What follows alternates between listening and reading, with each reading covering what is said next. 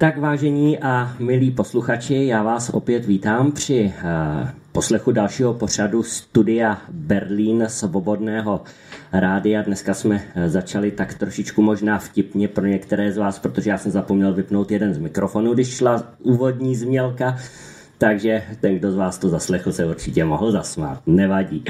Eh, dneska se budeme samozřejmě bavit o dalších eh, vážných eh, tématech a dnešní vysílání je tak trošku opět speciální, protože já vysílám společně ze studia s Jirkou Froňkem, kterého srdečně ve vysílání vítám. Jirko, ahoj, ať super, že jsi tady.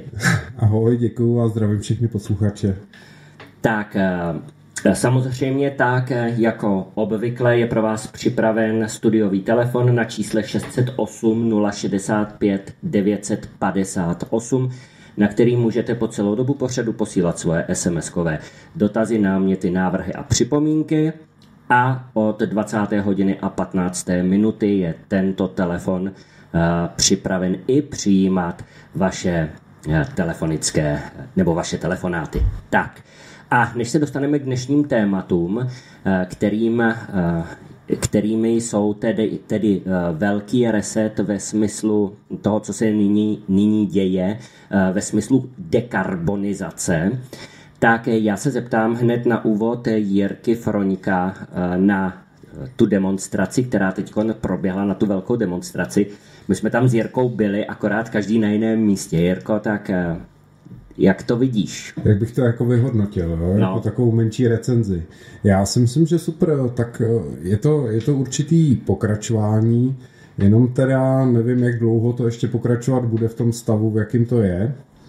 Těžko říct, jestli společnost eh, k tomu nějak přistoupí, jestli vůbec pochopí smysl demonstrace, jestli vůbec eh, se tam sejdou znova lidi, Jo, jestli to zase bude rozdělený, nebo se to bude slučovat, to je všechno taková otázka. Nevím, jak bych to zhodnotil. Každopádně ta demonstrace byla super, byla úspěšná, moc se mi líbila. E, přišel jsem o pár přátel, zase mhm. nové jsem tak nějak nalezl, takže já si myslím, že v pohodě. Jo, za mě, za mě samozřejmě Česká republika na prvním místě. Tak, e, za mě to samé Česká republika na prvním místě. Já osobně nevidím jeden jediný důvod k tomu, proč my bychom v zájmu cizí mocnosti nebo cizích zemí měli obětovat, je teď, když myslím stát, svoje vlastní občany a nechali je trpět, když v podstatě eh, s konfliktem jako takovým nemají vůbec nic společného. Pomáhat ano, ale pomáhat do té míry, aby to eh, neodnesli nebo neodskákali právě ti eh, domácí obyvatele, což dnes se děje přímý opak. Tak, eh, Jirko, já mám tady připravený takový, mm, takový schrnutí uh, toho, uh, co se vlastně teď děje. A já si myslím, že to schrnutí je velice dobře sformulované a my si ty jednotlivé body vždycky probereme. On totiž to ten velký reset nebo great reset se skutečně děje. No a momentálně probíhá následovně. Samozřejmě, že hodně otřepaný termín velký reset se používá jako zástupný výraz pro nový světový řád a vyjadřuje znepokojení nad tím, že několik problémových jedinců rozhoduje o tom, jaký bude svět zítra, kdo smí být bohatý a kdo musí být chudý, jak má fungovat ekonomika a jak jednat s přírodou. Ve skutečnosti existují samozřejmě kluby, kde zejména muži, ale i ženy sní o ovládnutí světa. Jsou to většinou lidé s velkým množstvím, no s velkým, s hodně velkým množstvím peněz, kteří z výše zůstatku na svém účtu vyčtou svou schopnost ovládat lidstvo. Na druhou stranu v současné době zažíváme to, co ve skutečnosti vede k velkému resetu, s astronomicky vysokými cenami energií a mnoha dalších produktů se rozbíjí stávající světový řád, rozhoduje se o bohatství a chudobě a je ohrožena zejména demokracie. Jinak eh, nový světový řád, eh, spousta lidí je na tenhle ten pojem jako alergická, eh, nebo řekněme považuje, považuje ho za konspiraci ale eh, ty, řekněme, eh, politické a obchodní a vůbec veškeré ty elity tak používají světový pořádek. Je to v podstatě úplně to samé. Uh, takže uh, to jenom, aby jsme věděli teda. Já jsem se setkal taky jenom jako s používáním jako nového světového řádu, nejenom teda uh, mezi náma jako lidma, ale samozřejmě i mezi těma, kteří vládnou světu. Jo. Politici častokrát prostě zmiňují nový světový řád nebo nový nějaký společenský jo, jo, je to prostě jaký používaný téma, mně to hmm. nepřijde jako, že by to bylo konspirační, spíš je to akorát jako obyčejný, tak. obyčejný. Dneska už víme, že už takhle, takhle, víme, že to není konspirace samozřejmě. Ano. Jo, je to prostě fakt, je nějaký nový hmm. světový řád. Tečka. Tak a my si teď povíme něco k růstu cen, který, které probíhají bez jakékoliv tajné dohody nebo uh, těch, řekněme, kartelů odpálení této bomby totiž není zapotřebí nějaký exkluzivní klubové tajné dohody, žádný tajný kartel. Uh, ukrajinský konflikt při škrcení dodávek plynu z Ruska a explozi ceny, ceny energií stačí k tomu, aby každému manažerovi společnosti bylo jasné, jaká je to údajně jedinečná příležitost. Teď nebo nikdy. Může, můžou zvýšit ceny hned, teď tomu nikdo neodolá. Stačí reklamovat vadu a zákazníkům nezbývá nic jiného, než zaplatit vysoké ceny za dodávku. Současný nedostatek energie plynule navazuje na problémy s dodávkami, které vyvstaly v souvislosti s koronavirovou epidemií a které již vyvolaly vysoké ceny a nedostatek v mnoha odvětvích. Zmínka o narušení dodavatelského řetězce stačí k tomu, aby si každý prodejce získal svoji pozici síly. Je snadné dokázat, že tato krize je zinscenovaná. Ceny ropy, cena ropy je hluboko pod 100 dolary za barel a cena benzínu se pohybuje kolem hranice 2 eur, tedy eh, řekněme v Německu 50 korun, u nás je to 40 korun. Ale pozor, v roce 2008 se cena ropy pohybovala kolem 140 dolarů, tedy o 40 dolarů více e, za barel a litr benzínu přitom ale stál euro 50. To znamená o čtvrtinu méně. E, nelze popřít, že lockdowny narušily dodavatelské řetězce, ale lockdowny jsou dávno pryč a stále se používají jako záminka k vydírání spotřebitelů. Mentalita loupeživých baronů, která je zde jasně patrná, prochází všemi odvětvími. Všude, kde potkáte podnikatele, kteří využívají daný okamžik. Dokonce i některým malým obchodníkům, kteří hromadí své zásoby, protože zítra nebo pozítří lze dosáhnout jednoduše ještě vyšších cen. Jaký je rozdíl mezi předchozím a novým světovým řádem? Neměli všichni poskytovatelé vždy zájem o vysoké zisky? Tak eh, samozřejmě, že měli eh, podnikatelé, kteří se chovají jako loupeživí baroni, eh, k tomu ještě navíc ničí demokracii. A my si povíme jak. Ale až do korony a ukrajinského konfliktu jsme žili v relativně dobře umístěné tržní ekonomice, ve které tvrdá konkurence nutila všechny společnosti účtovat nejnižší možné ceny. A já se tě na to za chvilku zeptám. Ne proto, že doposud byli všichni spotřebitelsky přívětivými dobrodinci, ale proto, že konkurent s výhodnějšími podmínkami vždy ohrožoval jejich vlastní postavení na trhu. Tímto permanentním tlakem samozřejmě trpěli všichni podnikatelé, takže současná situace působí jako vysvobození. Už to, už to není všichni proti všem, ale všichni společně proti spotřebitelům. To znamená proti lidem. Ale co to má společného s demokracií? Právě že hodně. Důsledkem cenového honu je ochuzování populace, čímž jsou postiženi nejen ti s nízkými příjmy. Současný vývoj pociťuje každý. Málo kdo má příjem, který by se snadno vyrovnal s aktuálními cenami. Frustrace mezi obyvatelstvem roste a tendence volit jiné strany, než jsou ty mainstreamové rychle narůstá, což připravuje půdu i pro demontáž demokracie a údajně nastolení autoritářských eh, struktur. Eh, já bych o tomhle tom trošku polemizoval, protože eh, samozřejmě tady se to, co oni tady myslí hmm. tou demokracií, tak to je ta jejich předělaná, znásilněná, zničená a totalit, to prostě totalitní demokracie. To už není demokracie. A oni, eh, jak vidíte, tak někteří nebo spousta lidí ji ještě stále hájí. Eh, a samozřejmě, že elity se bojí toho, eh, aby sem se do vedení, řekněme, těch států nedostali struktury politické, které jim ty jejich globální nebo globalistické plány naruší. Takže jenom tohle to pro upřesnění. No. Co si o tom myslím já? Jo? No. No. tak já si o tom myslím, že trh bez ohledu na systém, jo, jestli demokracie, totalita nebo to je jedno náboženská společnost, to je úplně jedno. Trh prostě funguje furt stejně. Nabídka, poptávka a to určuje cenu. Ale tady eh, nově se začalo dít to, eh, že ty firmy začaly stresovat lidi, začaly se do, domlouvat, začaly vytvářet kartely, eh, říkali, hele, ropa nebude, jo, začněte nakupovat, všichni prostě šíleně začali nakupovat, čímž trošku zvedli teda poptávku, ale není to hlavní důvod toho zvýšení ceny.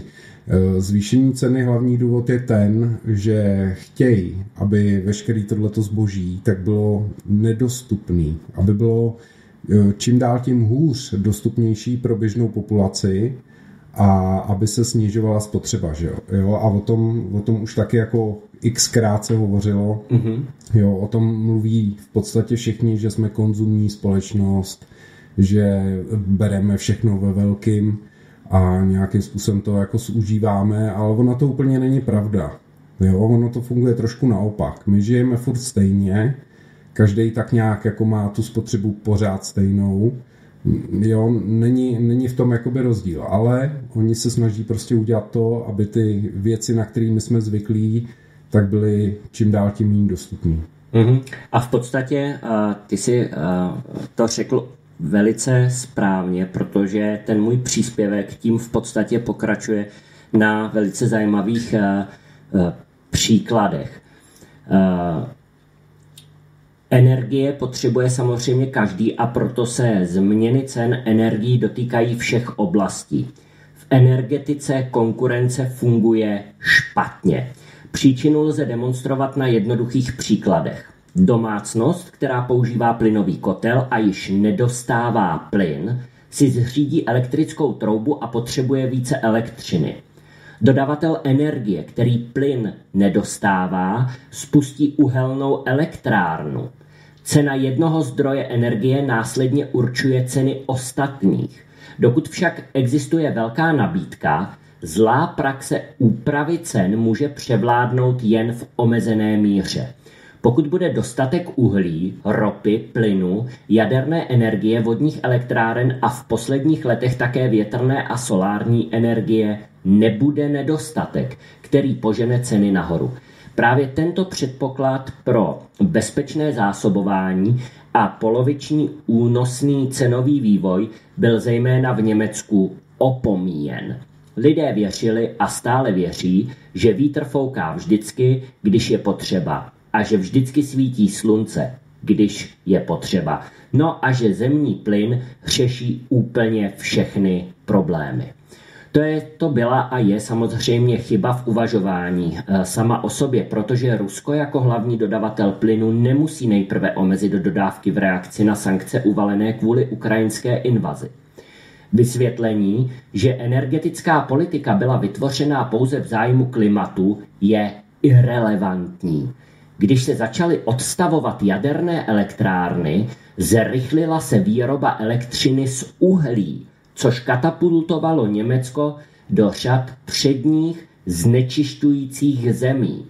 Pak se vrhli na zemní plyn, který uvolňuje například metan, agresivní skleníkový plyn.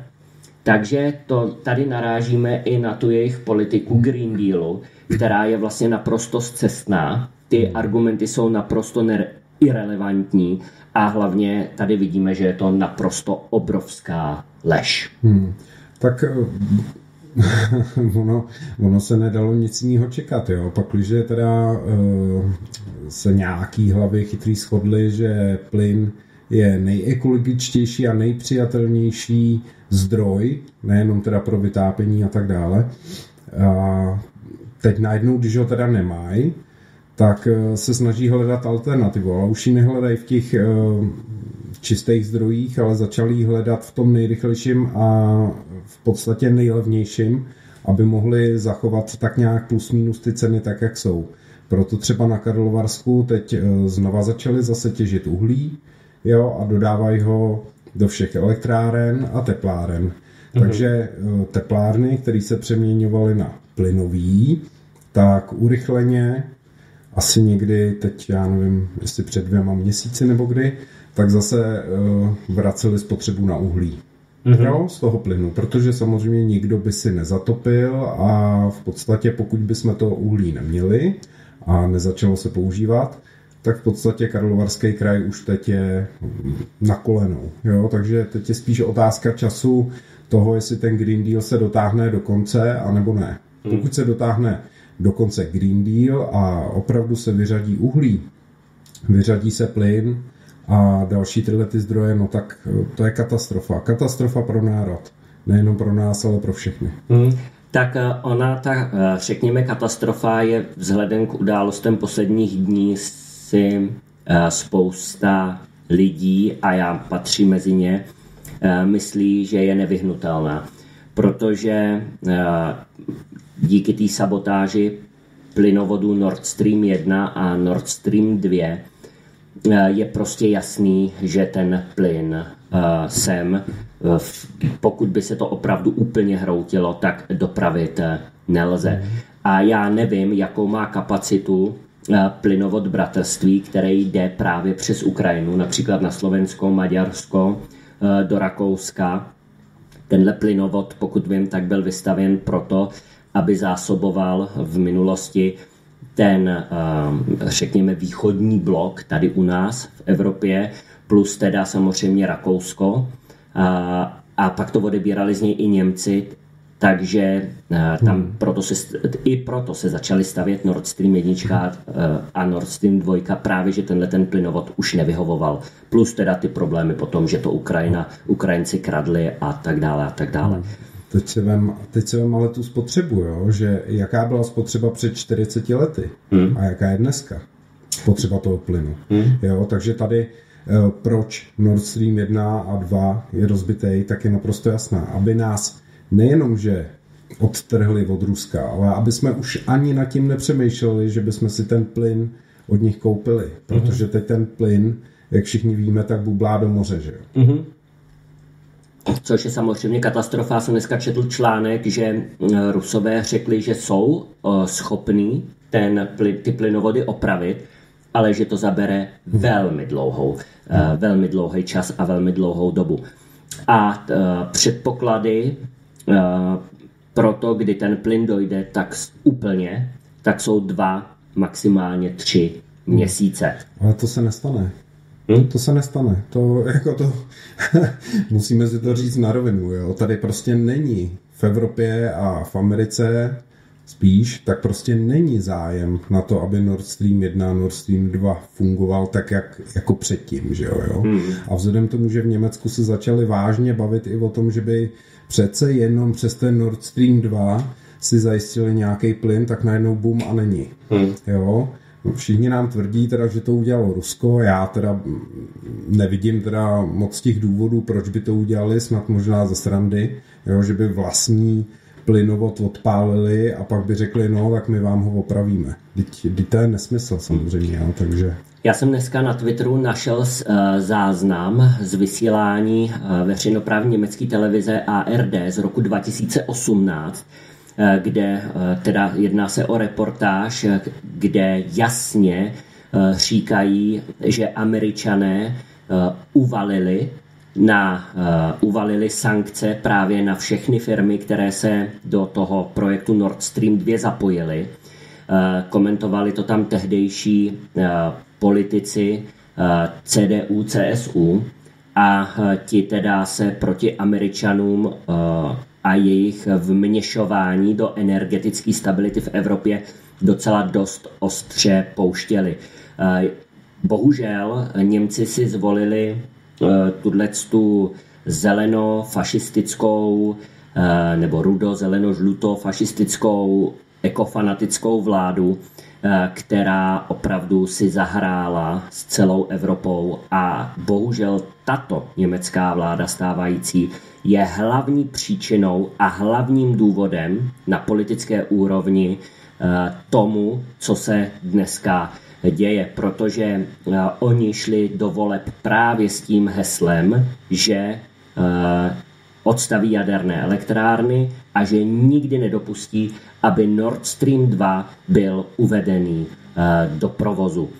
Přitom dnes už je taktéž jasné, že náhradu, náhradu na dodávky těch surovin do dneška v podstatě vůbec nemají. Co se týče Norska a Kataru, tak uh, to jsou dodávky, které je možné plnit v řádu měsíců, ale spíše let, nikoliv na tuto zimu. A rozhodně průmysl nebude čekat 3-4 roky na to, uh, až dostane pro svoji výrobu a svoji potřebu ty suroviny. Prostě ten průmysl se pokládá a položí se úplně. Eh, z německých médií eh, jasně vyplývá, nebo ze zpráv německých médií jasně vyplývá, že eh, končí ocelárny, španělský, německý a další a všechno se začíná nahrazovat právě produktama z Číny, z Indie a podobně. Takže my, co jsme byli jakože závislí na jednom Rusku, tak nyní budeme závislí na celém světě. My jsme se my jsme úplně se stali naprosto závislými na okolním světě, eh, nejen na tom eh, Rusku, což je úplně vůbec snad nejhorší situace, která se v Evropě kdy stala. Ale eh, nicméně pojďme dál. Eh, samozřejmě, že existují pochopitelné důvody, proč cena elektřiny exploduje, protože s velkým zápalem se prosazuje digitalizace, která vlastně přináší velké výhody. Je však již nyní spojena, ex, eh, spojena exploze ve spotřebě elektřiny, které by se místo zavírání elektráren muselo čelit rozšiřováním výroby. A v budoucnu elektrická vozidla učiní ulice bez benzínu. Pozor, ale s vedlejším efektem, že bude potřeba eh, ještě více elektráren. No a nedostatek proudu je tedy na dosah. Blackout není žádná chiméra. Hrozí dočasné výpadky proudu. Není divu, že cena elektřiny na trzích v, posledních, v posledním období raketově právě rostla. A my se dostaneme teď, Jirko, k tomu, eh, co eh, posluchače bude zajímat a na co se často ptají. A to je to je ten obrovský podvod se eh, spekulantama, kteří nás vlastně do téhle eh, situace přivedli. Protože nový světový pořádek se v současné době prolíná s jiným světovým řádem, který dělá neplechu už zhruba 30 let. Eh, jedná se o pravidlo spekulací. Od 80. let 20. století byla postupně odstraňována omezení týkající se podnikání daleko od reálné ekonomiky a obchodování s falešnými hodnotami neuvěřitelně rozkvetlo. Především se objevila kasta lidí, kteří za rok vydělají více milionů, než vydělá vrcholový manažer v reálné ekonomice za celý svůj pracovní život. Není divu, že se za těchto okolností člověk cítí jako vládce světa spekuluje, eh, spekulují na rostoucí či klesající ceny akcí, surovin či jiných materiálů. Jeden den vyhrají miliardy, druhý den miliardy prohrají. Většina z nich si užívá gigantických příjmů, ale někteří v turbulentní peněžní show neuspějí a skončí na ulici. Jedná se o termínové obchody, zejména ve formě tzv. futures, tedy kontraktů, které nutí prodávající a kupující dodat a převzít zboží v den termínové transakce. V zásadě je termínový kontrakt solidní a užitečný nástroj společnosti, která potřebuje ropu, plyn, mouku, kávu nebo jakýkoliv jiný produkt do určitých termínů, se doporučuje uzavřít smlouvu, která zajistí dodání požadovaného zboží v požadovaném termínu a za dohodnutou cenu. Cena se musí vejít do kalkulací kupujícího a sjednanou cenu musí akceptovat i prodávající jako přiměřenou, aby byli oba spokojeni. Tento v zásadě rozumný nástroj se stal nejoblíbenějším spekulativním obchodem.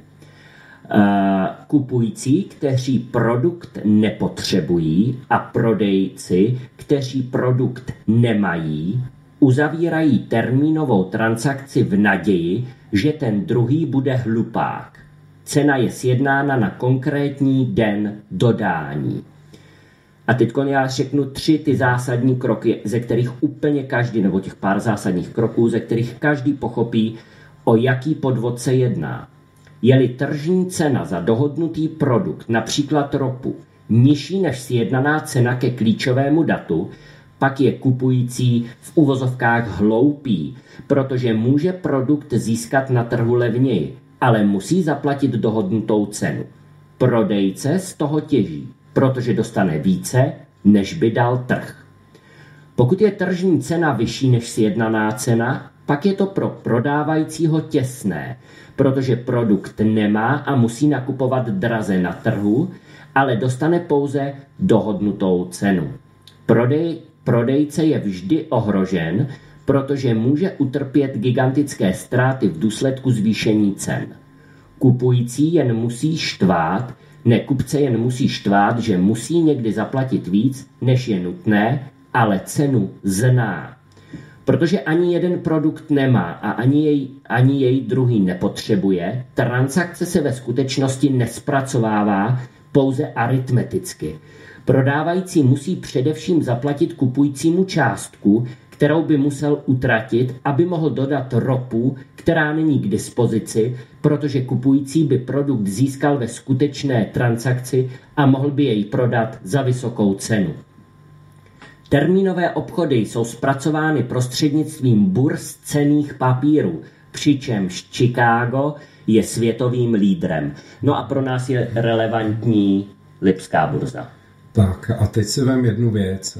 Pokud se někdo termínovaně nasmluval třeba plyn a rupl, rupl nám plynovod, jo, teď nám spadla, hmm. tak nevím, kdo mu ten plyn jako dodá.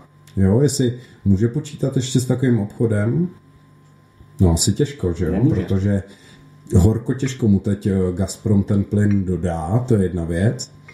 A druhá věc je ta, že eh, když už teda máme sankcionovaný eh, ty suroviny z Ruska, jo, tak jak to, že tam ten plyn byl? Mm-hmm. Pro koho teda byl? Jo, proč, proč je uh, plynovod Nord Stream jedna jo, plnej toho plynu? Pro koho byl? Jo, teď najednou všichni dělají jako, že eh, jo, se tváří jako, no, nám je to jedno, náš plyn to není, ale já si myslím, že takhle to úplně není. Já si myslím, že reálně eh, se to dotkne většiny evropských zemí, který, která ten plyn tak jako tak nasmluvaný měla. Jo, i když tvrdí, že ne, jo, protože tyhle ty kšefty se dělají naprosto jinak. Eh, dělá se to tak, že pokud, pokud někdo chce uzavřít biznis třeba s Běloruskem, plácnu na nákup dřeva, no tak eh, to dřevo nakoupí, převezou ho do Anglie a pak si ho jako anglický dřevo prostě koupí do Evropské unie. Jo, je to jenom hra, hra papíru. Přeložím eh, z běloruského tahače do evropského tahače a už je to evropský dříví. Jo, prostě, jo, takhle to funguje. Ty sankce prostě jsou um, ne jakože dobře nebo špatně, prostě ty sankce jsou neúčinný, jsou naprosto k ničemu, protože člověk, který v tom uh, umí chodit, dokáže to, je to prostě obchodník, tak samozřejmě tu cestičku stejně jako voda se vždycky najde. Tak a uh, v podstatě já na to navážu, co jsi, uh, o čem jsi mluvil ty, protože ti hlupáci, Eh, kteří eh, tleskají tomu, že eh, nedostane, nebo že nedostaneme, nebo že se přeruší ty toky těch surovin z Ruska přímo do Evropy, tak oni jsou tak hloupí a, a tak naivní, že oni vůbec nechápou, že Evropa ty ruské suroviny stejně bude dostávat tak nebo tak, jenom projdou právě tou takzvaně politickou a ideologickou očistou a půjdou přes půlku světa. E, co se týče ruského plynu, tak největším dodavatelem nebo jedním z největších dodavatelů ruského LNG plynu je Čína. E, bere ho západ. E, co se týče ropy, tak samozřejmě tam to bude obdobné. Já se k ropě hned dostanu, protože to bude smrtící rána pro Evropu. A eh, ne nadarmo eh, německá síťová agentura eh, prohlásila, je to tak tři neděle dozadu, my jsme se o tom taky s Jirkou bavili v rádiu, tuším, tak prohlásila, že se připravuje na kolaps cen plynu v polovině zimy. Eh, ten kolaps, eh, já, oni nespecifikovali, bohužel teda, jak, jakým eh, způsobem by k tomu kolapsu mělo dojít. Každopádně to nevěstí vůbec nic dobrého a ten kolaps se nebude týkat jenom trhu s plynem. Ten kolaps se bude týkat i trhu s ropou, protože Německo se už dříve zavázalo, já to znovu zopakuju, že od 1. ledna 2023 přestane odebírat ruskou ropu ruskými ropovody. Eh, proč to řekli tak, jak jsem to odcitoval? Protože Němci vědí, že tu ruskou ropu budou brát nadále, ale nebude smět téct napřímo z Ruska ruským eh, potrubím. A eh, protože samozřejmě protože samozřejmě toto rozhodnutí není jenom na Němců. Němci, oni, nebo německá vláda stávající, ona se cítí být takovým jako takovým tahounem, takže Němci ty se rozhodli od 1. ledna. Pozor, od února se to týká celé Evropské unie. Celá Evropská unie přestane odebírat a zpracovávat ruskou ropu a týká se to, týká se to zejména plyno, eh, ropovodu Družba. Takže my, eh, co jsme teď viděli, eh, ten cirkus kolem plynu, tak nám se to zopakuje ještě s ropou. Já si nedokážu představit, že tohleto Evropa vydrží, protože přijít o jednu surovinu je průser, ale přijít o dvě suroviny už je totální zkáza. No, při nejhorším Rusko bude muset jít a tu družbu odpálit samozřejmě. Jo, jak jinak, že jo. Jo, aby, aby nemusel obchodovat ropu s Evropou, tak radši ten ropovod odpálí stejně jako Nord Stream 1, že jo, mm. což se můžeme tomu všichni samozřejmě smát. Uh, ale víš, co mi to připomíná? Mě to připomíná trošku obchod, jo, supermarket. Když jdu do supermarketu mm. a vybírám si másla, tak nechci mol- polský máslo, jo. Tak oni jako pro takový šťourali, jako jsem já, tak vlastně vymysleli etiketu Made in EU, jo, jakože, jakože v rámci teda Evropské unie to bylo vyrobený a mě už nemusí vůbec zajímat, jestli je to polský máslo, český, slovenský nebo jaký. To je úplně jedno. Tak takhle to stejný bude asi možná i s ropou. Já si myslím, že plyn a ropu mít budeme, to si myslím osobně, že ji mít budeme. Otázka je akorát za kolik. Jo, kolik bude stát to, aby se uh, derusifikovala uh, ropa, jo, derusifikovala uh, plyn, jo, aby byl opravdu čistý takový ten uh, katarský nebo jakýkoliv jiný norský. Jo, to je prostě všechno, tohle je jenom marketing. Obyčejný marketing, akorát, že nejhorší je, že ten marketing uh, se projeví na ceně. A tu si zaplatíme my všichni. Mm. Jo? A s tímhle v podstatě vláda vůbec nic neudělá. Jo? I když je to banda neschopných idiotů, to si musíme přiznat, tak prostě tohleto je nad jejich síly. Oni nedokážou tohleto vyřešit. Oni určitě ne. Jo, oni se nedokážou v podstatě zavázat ani kaničky sami na to, aby vyřešili problém prostě se strategickými surovinama pro Českou republiku. Hmm. Uh, samozřejmě plyn i ropa budou, ale otázka je pro koho a v jakém množství a samozřejmě za jakou cenu a teď nemám na mysli cenu jako peněžní. Tady totiž to Nord Stream 1 a Nord Stream 2 jakožto plynovody eh, se postavili proto, protože se rozrůstala průmyslová výroba a protože ten eh, plyn byl potřeba zejména pro průmyslový, eh, pro průmysl. Tím, že se vlastně ty ty dodávky snížily a zastavují se a, a vybou a někdo sabotoval tyhle ty plynovody a tak dále, tak toho plynu eh, bude málo, nebo je málo, je nedostatek, v Německu už to pocitují. A co se, co se děje? Končí, končí průmysl, dochází k, de, k deindustrializaci. Končí. My nebudeme mít tady průmysl, jako jsme měli.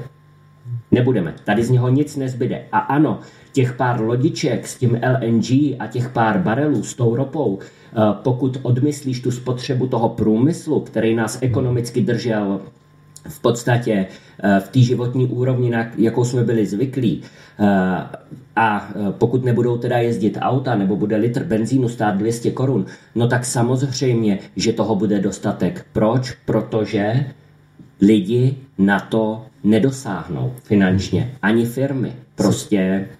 Já jsem neřekl takovou důležitou věc. Mm. Já s průmyslem už nepočítám samozřejmě. Aha, jo, jestli, tak... jestli někdo to jako špatně pochopil, tak, eh, tak jako je to fakt. Jo. Prostě eh, pokud pokud nemám krmení, no tak nemůžu mít průmysl, že jo, nemůžu mít ani zvířata na to, že abych mohl mít eh, fabriku plnou lidí, jo, který samozřejmě kam jinam půjdou než na úřady práce, mm-hmm. jo, a takhle to asi stát jako plánuje, stejně tak jako mě přišel e-mail včera dneska, že mi teda milý Inoji přiznalo nějaký státní příspěvek na elektřinu, na cenu Jo, tady státní příspěvek ve výši 3,5 tisíc. Jo. jo. já nevím teda, čím jsem si to zasloužil, jo, ale já na ten jejich příspěvek s proměnutím seru, protože jo, já mám děti a nechci samozřejmě daleko víc zadlužovat. Vemte si, před pár lety stát měl státní dluh ve výši půl bilionu.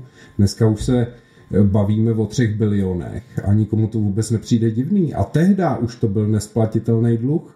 Dneska, dneska, dneska je to takový numero, který prostě nikdo si nedokáže ani představit. Jo? A já totiž vím, jak fungují ty jejich dluhy. Oni prostě si napíšou sami sobě papírek, že za tuhle směnku něco zaplatím, třeba já nevím, 100 milionů, a hned si je na tiskárně vytisknu a hodím je do oběhu.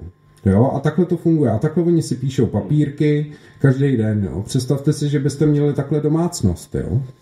Že byste si napsali, no tak dneska, dneska si půjčím sám od sebe tisícovku, dáte si tam papírek, vezmete si tisícovku a takhle tam chodíte furt, furt, furt, až vlastně zjistíte, že vůbec nic nemáte. Jo? A tímhle způsobem prostě začal fungovat stát, funguje tak Evropská unie. Jo, ale to, že ty naši pitomci se to naučí taky, tak by mě v životě nenapadlo.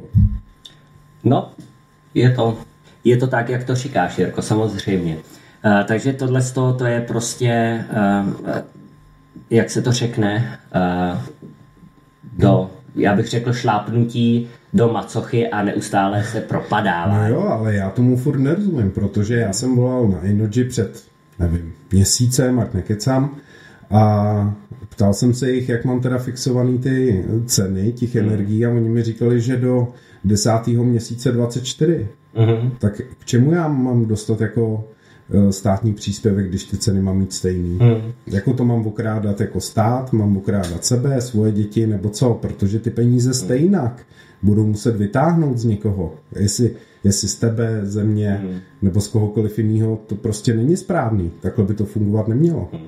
Eh, jinak německá vláda včera eh, eh, teda opustila, nebo upustila, pardon, ze svého plánu zavést tu plynovou daň, aby přenesla tedy ty ztráty těch dodavatelů energií na spotřebitele, takže Němci nakonec pod tlakem Habek, ministr hospodářství, ta, tak vláda německá teda od této daně upustila, ale ono je to stejně úplně irrelevantní v dnešní uh, situaci, protože stejně uh, ty dluhy budou tak enormní, že uh, já taky nevím vůbec, jak oni to budou chtít někdy zaplatit nebo splatit. Každopádně, uh, já jsem dostal vejplatu teďkon, samozřejmě v Německu. Uh, já, bych to, to já bych to nazval almužnou. A mě tam přistálo Eh, mě tam přistálo nezdaněných těch 300 euro, eh, který eh, německá vláda slíbila jakože na vykrytí té inflace. Jo. Já to mám úplně stejně tak jako ty. 80, řekněme, že Německo má teď 84 milionů obyvatel, jo, jestliže oni, já nevím, mají tam 50 milionů nebo 60 milionů pracujících, já ty statistiky nemám, mm. tak si to vynásob krát 300 eh, euro a dostaneš úplně šílenou sumu. To Německo se zadlužuje taky čím dál tím víc. Německo je mimochodem čtvrtý nejzadluženější stát na světě. První jsou USA. A tady od toho se vlastně celá politika a celý, celý to dění dnešní, o toho se to odvíjí. Nicméně samozřejmě, že těch 300 euro bylo nezda, nezdaněných, takže mě zdaněných přišlo nějakých 200, 230 nebo 240 euro, což samozřejmě na jednu stranu člověk jako řekne, no pěkný, a na druhou stranu mám úplně stejný pocit, jak ty, Jirko, hmm. že v podstatě já okrádám, nebo jsem okradl ten stát nebo ty lidi, v podstatě do budoucna, protože to budou, bude, budeme muset zase zaplatit, jo. Takže hmm. tohle a mimochodem jako tahle částka je naprosto směšná, jo, hmm. vzhledem k těm cenám v Německu a tomuhle tomu, takže si to mohli klidně i jako pro mě za mě odpustit. Hmm.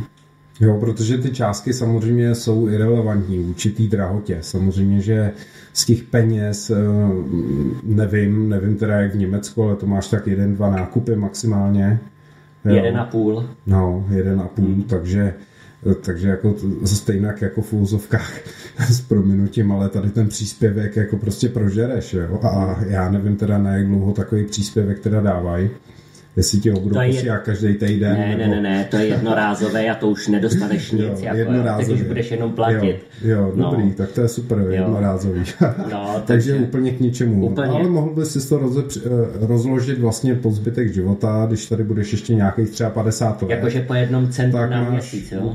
No, to máš tak co, 50 let, no 250 máš 3 eura, ne, nějak za rok. No, no já nevím kolik, 5, 5 euro, no to, to je dobrý, to by si mohl rozložit rozložit, no, aby ti zbylo třeba na sirky. Tak, je to hrozný, ale my až se dostaneme k tomu, eh, k té dekarbonizaci, eh, protože eh, Světový ekonomický fórum vydalo takový velice zvláštní článek a já vám s dovolením teďko něco ocituju a dobře se držte, protože já když jsem ho čet, tak mě málem ruply nervy tak, že to chudák ten počítač téměř nepřežil.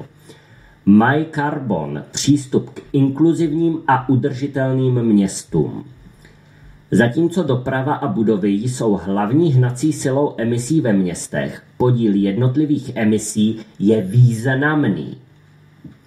Osobní programy uhlíkových povolenek měly omezený úspěch kvůli nedostatečné informovanosti a spravedlivému mechanismu pro sledování emisí. Osobní programy uhlíkových povolenek znamená každého jednotlivce, každého jednotlivého člověka. Já to uvedu na příkladu německá, eh, pardon, slovenská Tatrabanka, tak ta dává například teď vedení účtu a nulové poplatky každému, kdo jim dovolí, aby sledovali jeho uhlíkovou stopu. To znamená, co nakupuje, jak často nakupuje, eh, co nakupuje, za kolik a tak dále a tak dále. V posledních letech však došlo k zásadnímu vývoji, který by mohl pomoci realizovat iniciativy My Carbon. Města po celém světě představují téměř 75% našich celkových emisí uhlíku, píše teda Světový ekonomický fórum. Vzhledem k tomu, že země směřují k naplňování svých závazků ohledně čisté nulové budoucnosti, městské oblasti zůstanou v příštích desetiletích akčním polem. Já jsem se musel zasmát, protože uh, když píšou, že uh, vzhledem k tomu, že země směří k naplňování svých závazků ohledně čisté nulové budoucnosti, tak teď, jestli oni mají na mysli jako, že nulová, uh, ta uhlíková budoucnost, anebo nulová, jako, že budeme mít úplnou nic. nulu v kapse, jo. Asi obojí, protože Asi obojí, no. jako nic jako uhlíková stopa, něco takového neexistuje. No samozřejmě, že ne. Uh, ale pojďme dále. Zatímco doprava a budovy jsou hlavními hnacími silami emisí ve městech, podíl jednotlivých emisí je významný, přibližně 40% je neuvěřitelné, jak oni tady vysloveně útočí na ty dvě hlavní životně důležité složky lidského života. Na bydlení a na dopravu.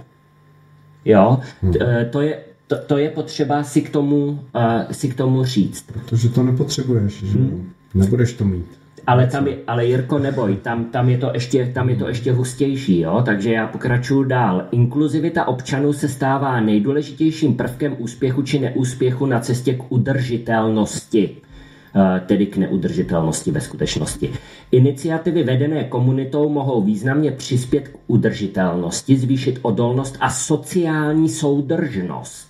V diskuzích za poslední dvě desetiletí bylo mnoho příkladů programu osobních uhlíkových povolenek, ale měli omezený úspěch kvůli nedostatečné společenské akceptaci, politickému odporu a nedostatku povědomí a spravedlivého mechanismu pro sledování emisí s názvem My Carbon, anebo v češtině Můj uhlík. No. Co říkáš na jejich program Můj uhlík? Můj uhlík. Tak to je jinými slovy takový evropský karbonizační sociální systém kreditu.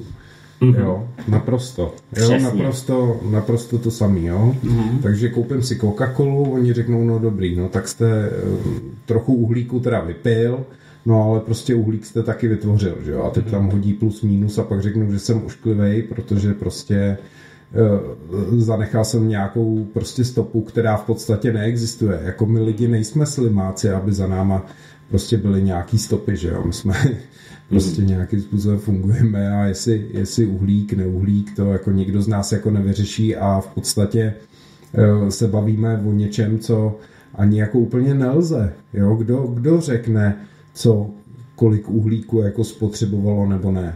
Jo? Prostě já s ním rohlík a co jako? Já jsem z růda, protože za mnou zbylo 5 gramů uhlíku kvůli tomu, nebo... Tak jo, rozumíš? Jo, to je prostě téma takový úplně k ničemu. Jo? No, ono je k něčemu. Ono to téma je za, zásadní a velice důležitý, protože tohle je, já to nazývám uhlíkový fašismus. Eh, pokud tě někdo bude kontrolovat eh, neustále, eh, jakou ty máš, řekněme, tu uhlíkovou stopu, tak ty budeš pod totální absolutní kontrolou ty prostě se budeš bát sejít i ano, hmm. jo, aby náhodou eh, to nezasmrdělo u sousedu a oni tě nezažalovali za, nebo ne, nežalovali eh, na tebe, že vypouštíš moc uhlíku. Třeba až do takových absurdit to opravdu může hmm. dojít, protože my jsme to viděli u covidu a my se k tomu teď dostaneme, protože ten článek je ještě mnohem výživnější. Náš svět se transformuje velké komunitní trendy pro udržitelná města. V posledních pěti až sedmi letech došlo k významnému vývoji na sociálních, environ, environmentálních a technologických frontách, které by mohly pomoci realizovat iniciativy MyCarbon pro utváření budoucnosti směrem k chytrým a udržitelným městům. A teď dobře poslouchejte, protože já vám řeknu tři konkrétní body.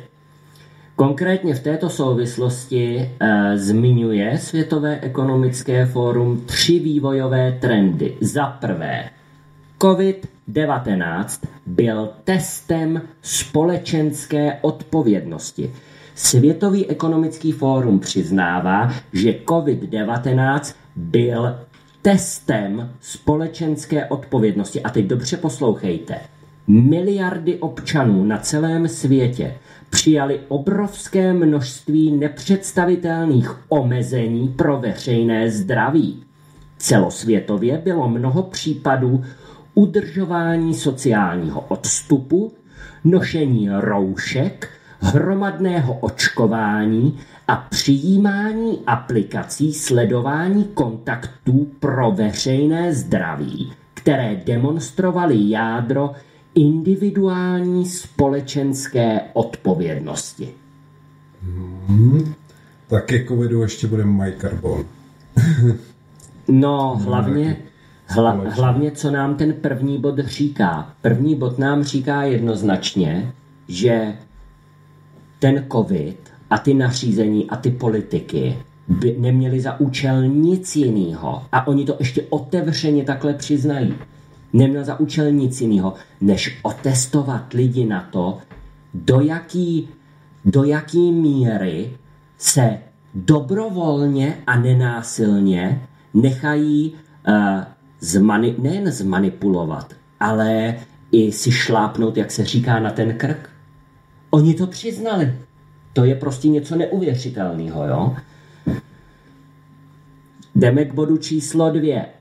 Technologické průlomy čtvrté průmyslové revoluce, pokroky ve vznikajících technologiích, jako je umělá inteligence, blockchain a digitalizace, mohou umožnit sledování osobních uhlíkových emisí, zvýšit povědomí a také poskytovat individuální rady ohledně nižších emisí uhlíku a etických možností spotřeby produktů a služeb. Iniciativa Scale 360 Světového ekonomického fóra demonstruje využití technologií čtvrté průmyslové revoluce v celém životním cyklu produktů a služeb. Zářná budoucnost. To rozhodně. Došlo k velkému pokroku v technologiích inteligentních domácností, dopravním volbám s dopadem na uhlík, zavádění inteligentních měřičů při poskytování individuálních možností ke snížení jejich emisí souvisejících s energií, vývoj nových personalizovaných aplikací pro zohlednění osobních emisí a lepších osobní vol- volby pro potraviny a emise související se spotřebou. Umělá inteligence může také pomoci posílit obchodní modely eh, cirkulární, anebo my tomu říkáme oběhové ekonomiky, jako jsou modely produktu jako služby, předpovědi poptávky a inteligentní zpráva aktiv tím, že kombinuje data z produktů a uživatelů v reálném čase a historická data.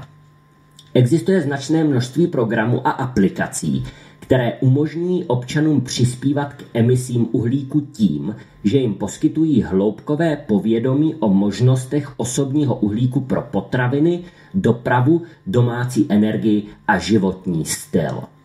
Tak a tady u toho se zastavím, protože to je přesně to, před čím všichni odpůrci eh, ty tohodle z toho zeleného fašismu eh, varují. Už existují aplikace, které ti hlídají uhlíkovou stopu. Co jíš, čím jezdíš, hmm. jak se chováš a podobně.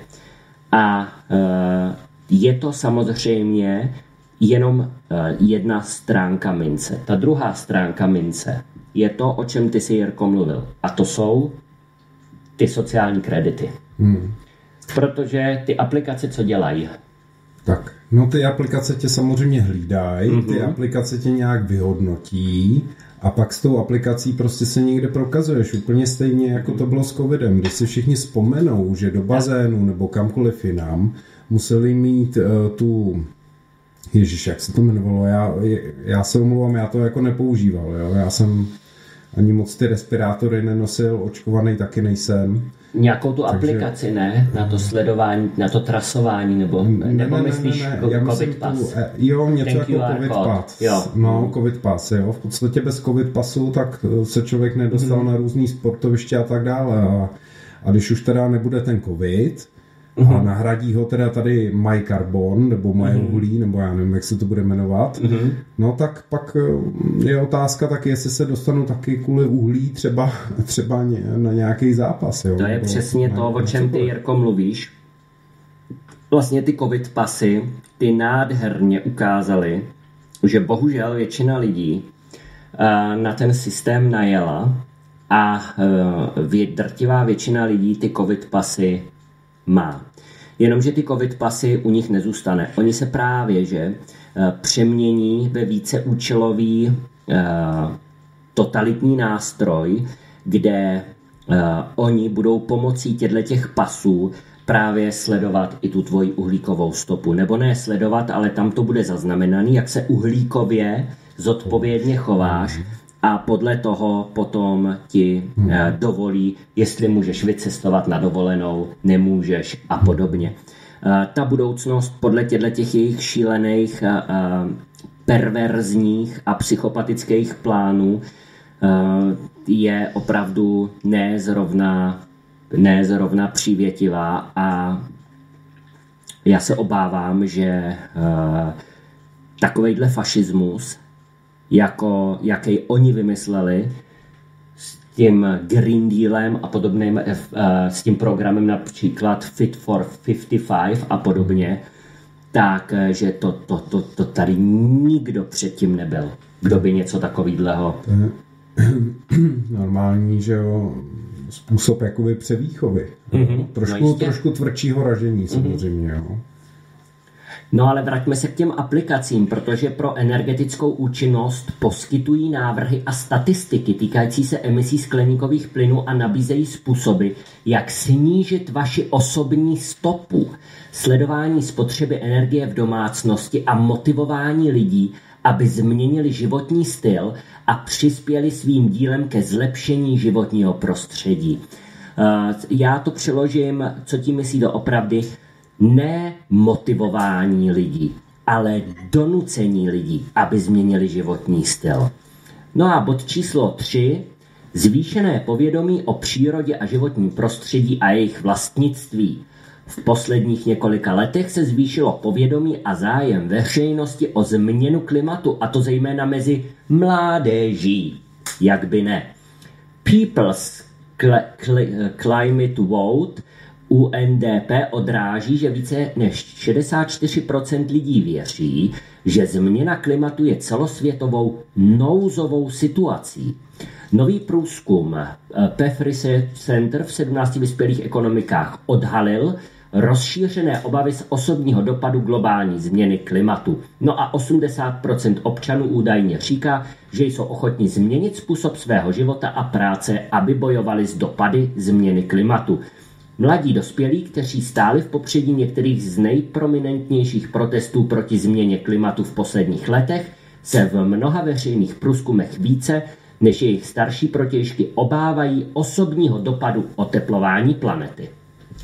Tak, takže eh, my, než půjdeme na přestávku, která nám začíná za minutu, tak eh, jenom eh, chci upozornit dopředu, že eh, samozřejmě čím eh, se bude zhoršovat energetická situace eh, u nás, nebo nejen u nás v České republice, ale v celé Evropě, tak tím více budou tlačit z Bruselu zejména na zavádění takovýchto totalitních, naprosto totalitních uh, digitálních novinek, který, uh, který vlastně nám uh, budou určovat, jak máme a nebo nemáme žít. Jirko?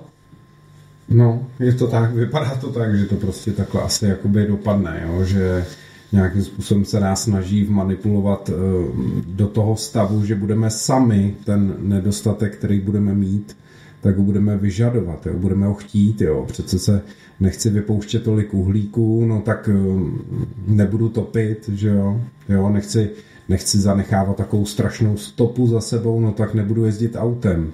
Jo, a to, že vyměnili plynové autobusy za nafťáky, jo, to už je věc druhá. Jo, mm. to mhm. už nikdo neřeší.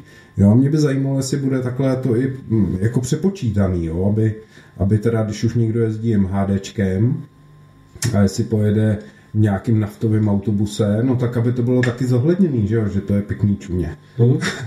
tak jo. jo. Dobrý, vážení a milí posluchači, eh, my si dáme teď 15-minutovou přestávku a eh, po 15-minutové přestávce se budeme těšit samozřejmě nejen na vaše SMSky, ale i na vaše eh, telefonáty. Takže ještě jednou pěkný dobrý večer.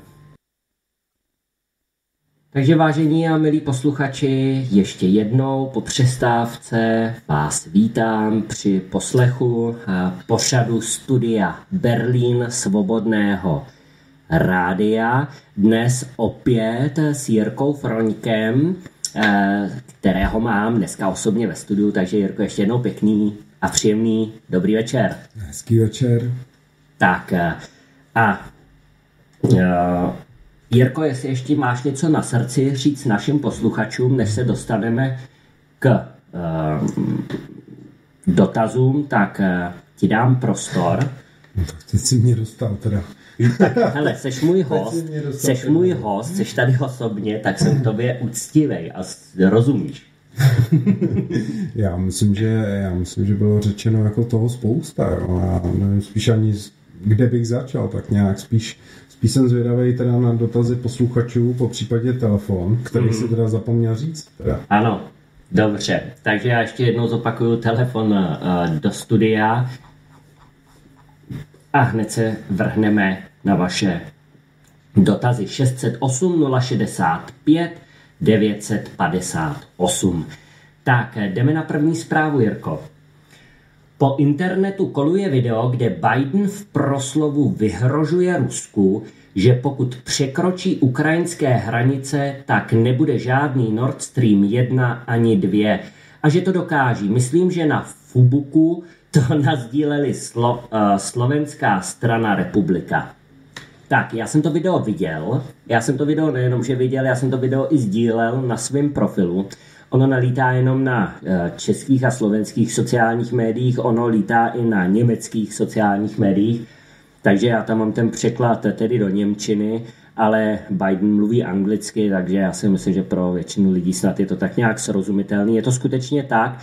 Eh, Biden se na eh, vlastně tiskové konferenci k hurikánu, a teď Mirko pomož, kde ho měli ten hurikán zase teď na Floridě, tak eh, když se tam, když měl k tomu teda tiskovou konferenci, tak se ho tam novinářka, tuším jedna, ptala eh, na eh, ten Nord Stream 1, Nord Stream 2.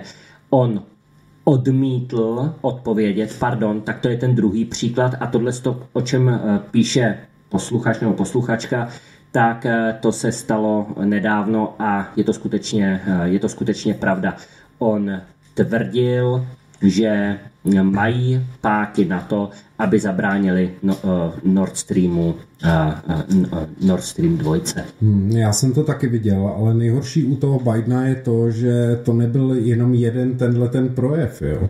Ono totiž, když si vezmete retrospektivně do zádu, co všechno prostě řekl, jo. on tam prostě komentoval i Jugoslávii, nebo respektive Srbsko, jo, jakým způsobem ho musí potrestat a zničit, aby se dívali ďáblům do očí a podobný nesmysly, prostě co tenhle Magor tam chrlil jedno za druhým, takže těch videí je prostě spousta a každý by se měl na ně podívat, aby zjistil, s kým má tu čest, jo, že opravdu tohle uh, není jako obyčejný člověk, který by občas řekl nějakou blbost, jo, jakože zdraví manželku, kterou tam nemá, podává ruku lidem, kteří tam nejsou a tak dále.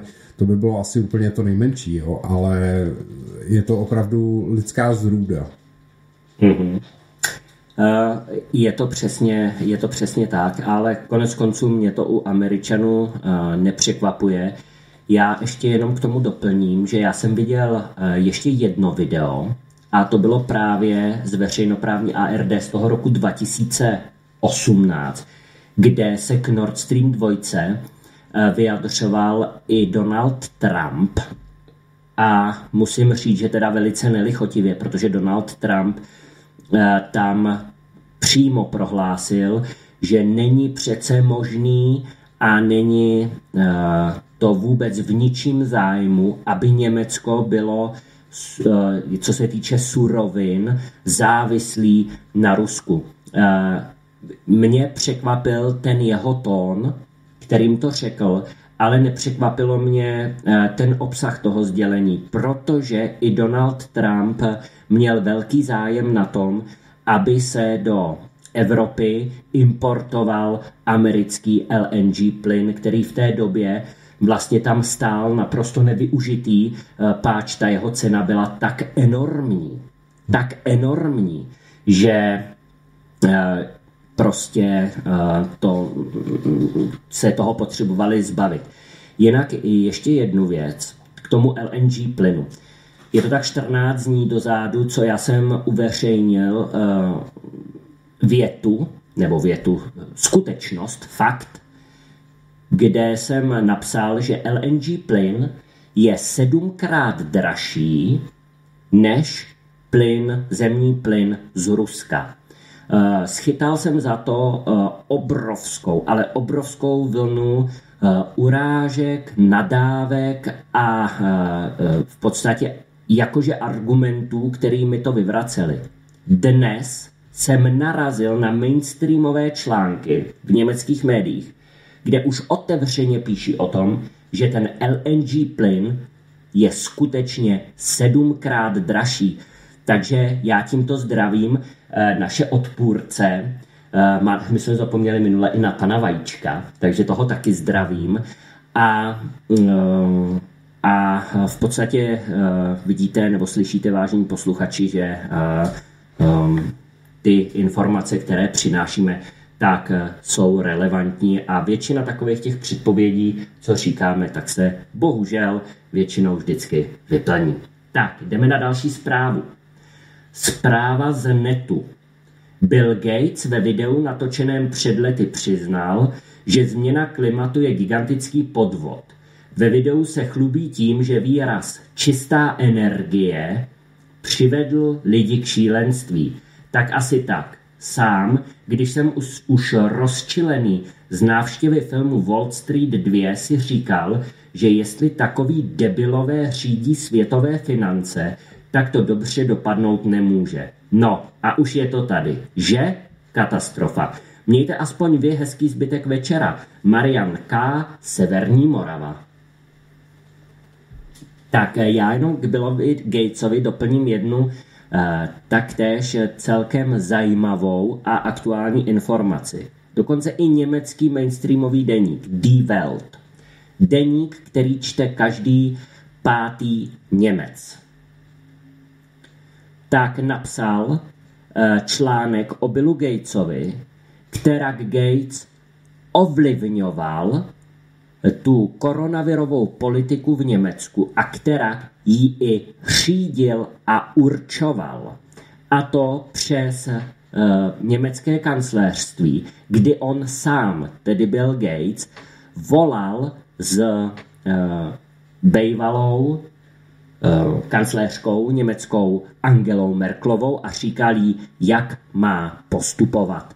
Takže pokud toto zveřejnil již mainstreamový deník, tak eh, opět je to další důkaz tomu, že kritici koronavirové pandemie se v této otázce, co se týče Billa Gatese, absolutně nemýlili. A já Billa Gatese osobně považuji za jednoho z největších globálních zločinců. Hmm, on je to takový další střípek do toho, že do takového jako důkazu, řekněme, toho, že jsme prostě řízený nějakou hrskou globalistů, který prostě mají nějaký svoje zájmy. Jo, to, že on si uvědomuje, že to je celý podvod, no tak eh, mě teda nepřekvapuje. Jo? Spíš mě překvapuje to, kolik lidí je schopno naskočit na tenhle ten podvod. Jo? A dokonce tomu i uvěřit a žít v tom. Jo? A nutit ostatní to dělat. Jo? Prostě tohle je opravdu jenom hra mocných a různě se po vládách předávají noty, která co se má stát, která co se má dít. Mm-hmm. Já ještě mám jednu takovou jenom uh, docela zajímavou uh, uh, uh, zajímavou vsuvku. Uh, určitě mnozí z vás znáte Jana Cempera, velkého aktivistu. Uh, kdo ho nezná, tak určitě zná manipulátoři.cz a on se se mnou hádal na webu ČT24 a v, při té hádce uvedl, že ropovodem družba vede plyn, takže toliko jenom k toliko jenom k tedy té inteligenci té protistrany. Tak, Jirka tady na mě teď ukazuje eh, takový zajímavý eh, příspěvek z ČT24. Ukrajinský prezident Volodymyr Zelenský uvedl, že jeho země podává žádost o urychlené přijetí do Severoatlantické aliance, jak informují agentury. Eh, požádat může, ale pokud je fakticky podle mezinárodního práva Ukrajina ve válce, tak eh, smí, nesmí být podle zákona do NATO přijata. Eh, já jsem doteďka eh, vůbec nikde nenarazil na jednu jedinou relevantní informaci, která by jasně udala, která země, které vyhlásila oficiálně válku. My se tady bavíme, nebo média mainstreamová se zde baví o válce, ale mně pořád uniká ten hlavní eh, ten hlavní v podstatě bod a to je ten, kdo fakticky podle mezinárodního práva komu tu válku vyhlásil. Pokud to víte, zavolejte do studia, eh, já budu určitě rád, ale já jsem do dnešního dne na žádnou takovou zprávu nenarazil. A mimochodem, co se týče Zelenského, tak já jsem četl eh, ještě na švýcarských eh, novinách jeho Zelenského vystoupení, protože Zelenský byl včera přepojen online do Curišské do Curišské univerzity, tuším, nepamatuju si tu organizaci, která to nějak pořádala, ale to je bezpředmětný. A on tam řekl jasně jednu věc. Zelenský tam prohlásil, že pokud bude anekto, eh, nebo pokud připojí Vladimír eh, Putin ty území k Rusku, tak eh, Ukrajina použije použije tu vojenskou sílu a to velice důrazně. Takže eh, tady eh, pokud tohle eh, Zelenský udělá, tak to bude samozřejmě jen další a další eskalace toho, toho, toho konfliktu. No, tak ty referenda proběhly. Rusko teda nějakým způsobem ty území v úzovkách anektovali a já se vůbec tomu jakoby nedivím. Nebo ne, že nedivím, ale já, ale já jako očekávám to, že Ukrajina půjde prostě do ofenzívy a začne na tyhle ty území útočit. Jo? Je to naprosto asi, asi i docela logický, jo? že prostě chtějí nějakým způsobem udržet tu celistvost toho území, ale za jakou cenu? Za jakou cenu chtějí udržet celistvost území.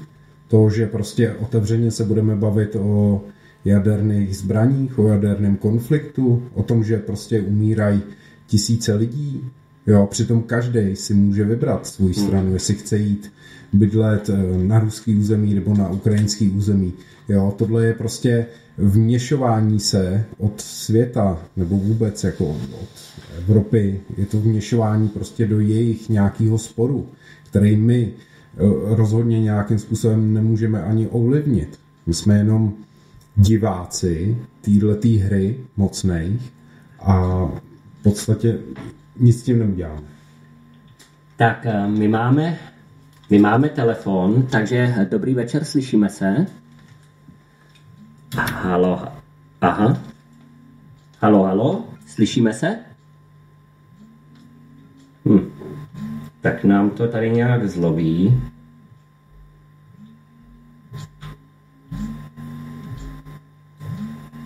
No, takže telefon asi nebude, protože, protože nám to zlobí. Takže já se omlouvám, já ten telefon zrestartuju a snad nám to, snad nám to poběží. Normálně vibruje a nechce člověče. I ten telefon toho má dost. Tak. Technická chybička. Počkej, takhle přijmout. Tak a teď možná bychom se už měli slyšet. Halo, halo, slyšíme se? Ano, ano, slyšíme. Tak, dobrý večer, do, mládenci, dobrý, tady. Dobrý večer. Jirka Zabatová, Rabina. Hele, já jsem se vás chtěl zeptat, nikde jsem to ani na netu nenašel, hmm. to vyjádření k té demonstraci od policajtů. Co je, prosím vás, pěkně za číslovku nižší tisíce lidí? no, já, já, já vám na to odpovím. No. Eh, ten, uh, on o tom mluvil, uh, on o tom mluvil vlá, Vláďa Vrábel. On se Aha. ptal toho pana majora, který to tam měl na, jako na, na starost. Ano.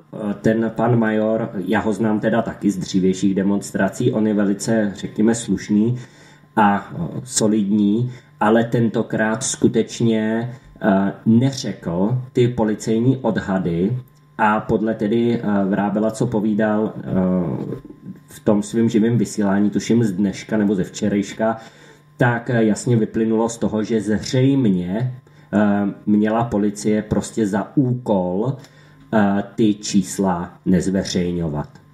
Jo? Mm-hmm. Protože ty demonstrace v té Praze, to si málo kdo uvědomuje. Oni mají obrovskou rezonanci po celé Evropě a v podstatě o nich informuje celý svět a oni se toho opravdu strašně bojí. Takže... Tomu rozumím, mm. tomu rozumím. A, a víte teda někdo, eh, kolik tam ve skutečnosti fakt bylo lidí? Když to nebudeme přehánět ani podceňovat teda. Bylo tam stejně jako minule nebo víc? Tak eh, já bych, protože jsem tam byl, tak já bych řekl, že tam bylo lidí tak stejně jako posledně. Eh, posledně totiž toto Václavský náměstí dole, ono tam, tam byla nějaká stavba, nebo ně, něčím to tam bylo zahrazený, takže ty lidi se mačkali nahoře i v těch postranních ulicích, ale teď mm-hmm. se mohli roztáhnout dolů, tudíž eh, to nebylo na těch stranách tak narvaný, jo, proto to zkresluje. Ale těch lidí tam... Ale... Mhm. Jasně, ale oni, oni právě tím argumentovali, že tam bylo méně lidí, protože minule se právě nedalo projít vůbec a teď se tam dalo chodit úplně normálně, mm-hmm. takže tam bylo určitě méně lidí a to no. Já jsem se hrozně smál u toho, když, mm-hmm. když, jsem, když jsem to viděl. No. Tak potřebuju to zdehonestovat, tak to je jasný. Uh, mm. Mimochodem k tomu ještě je potřeba přičíst taky ty lidi, kteří byli v těch dalších městech, jo, mm. což teda jako... Ano je neuvěřitelný a ty lidi v těch dalších městech byli vlastně plus navíc od ano. toho minulejška. Jo, takže, ano, ano. Tak, takže jako celkově tahle demonstrace měla větší, vyšší účast než ta předchozí. To rozhodně. Tak to určitě. Samozřejmě, když se, když se připočítají ty města okolo, tak určitě, no. Mm-hmm. Určitě. Jako, mě mrzí jedna věc, oni se tomu smějou, ty ksichti, ale jak říkáte, no, po tom světě asi to nějaký, nějaký nějakou ozvu eh, bude mít, no, snad, snad. I když, nevím, já tomu moc nevěřím. No ale to já jsem koukal Protože... na německý média a jako tam to lítá teda pěkně, jo? Jo. Mm-hmm.